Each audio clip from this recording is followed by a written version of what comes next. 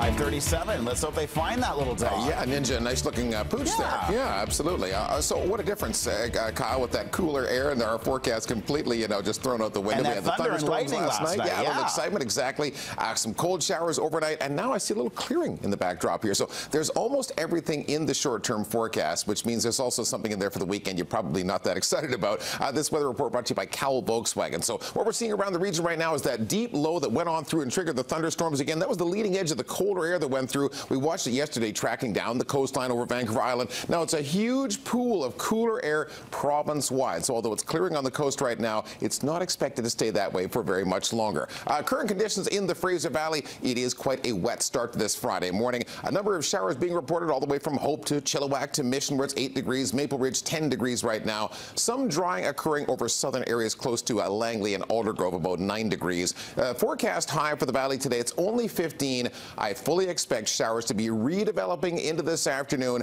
No clearing whatsoever at all for the Fraser Valley today. Mind you, for Metro Vancouver, it's not going to be all cloudy nor all wet. We're seeing some clearing on the coastline already, 10 degrees in downtown Vancouver. By the water's edge, a couple of spots in West Van reporting 8 degrees. So through the Burnaby corridor, eastward into parts of Delta and Surrey, some showers moving through. They'll probably be over and done with in the next hour or so. Your forecast high in Metro Vancouver, well, it's a mostly cloudy 16. I do believe it dries out quite nicely throughout the day, but those breaks of sun, they'll be shrinking as more and more clouds reform and sort of fill in all the gaps this afternoon. How about the long range picture? Okay, here's the part we'll all be disappointed about. That Saturday looks wetter with every update. It's more than just a few showers tomorrow. I think it's a rainy, windy Saturday. Then it's all long gone early Sunday morning. So we're back on track for pleasant conditions by Sunday afternoon and evening. Some sun at about 17. Next week, warming up all the way through. Those temperatures, they're in the 20s and it's sunny for several days in a row. But Thor, I guess there's some big puddles out there for our morning commuters today. Yeesh, and that's not faring well for my uh, Alabama Shakes concert I know, yeah. Deer Lake Park tomorrow. I'll be disconnecting my phone when you're trying to get a hold